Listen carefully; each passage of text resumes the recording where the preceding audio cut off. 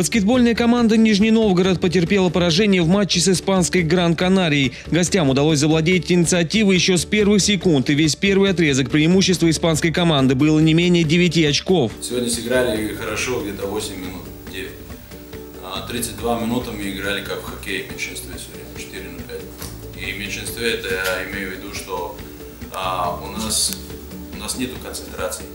Все время один игрок теряется шип.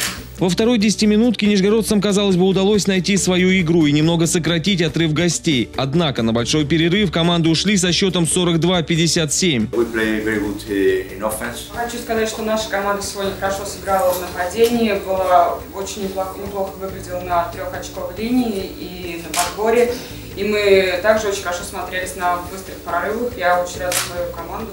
Третьем игровом отрезке ситуация только ухудшилась. Единственная задача нижегородцев была не допустить разницы более чем в 20 очков. Однако финальная четверть была совсем неудачной. Счет гостей перевалил за сотню, а черно-белым каждое очко давалось с очень большим трудом. Сложно, вы же сами видели, сложно. Э, Нужно время.